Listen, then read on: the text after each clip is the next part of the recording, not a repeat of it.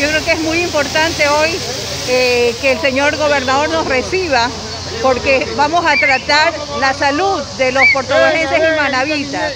Entonces estamos pidiendo pues este momento, van a venir las autoridades dirigentes eh, de Puerto Viejo y de la provincia para acompañarnos arriba con el señor eh, gobernador al señor prefecto, el señor alcalde, que nos va a acompañar también. Los remedios, las medicinas que están muy Bueno, sí, e, es que no hay, es que ni siquiera hay remedio. El ciudadano tiene que salir a comprar de sus propios recursos a, la primera farmacia que se encuentre. Entonces, mínimo, un ciudadano debe tener de 300 dólares diarios y eso no puede ser. En la farmacia encuentra la medicina, menos en el hospital.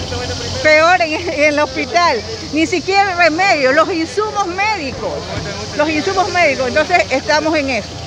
Bueno, usted qué espera que, se, salga de esta reunión?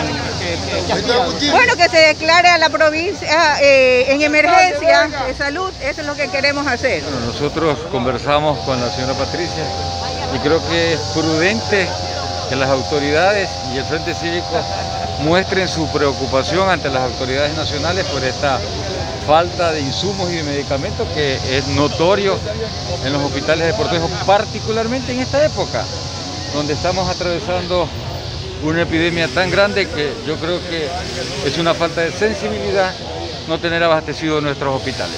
El hecho es hacer fuerza para que Manaví tenga presencia. Y acompañar al gobernador. Aquí no hemos venido a criticar a nadie ni a perjudicar a nadie. Hemos también venido a decirle al gobernador, cuente con nosotros. Cuente para que si su voz se eleva hasta Quito, también la nuestra se eleve.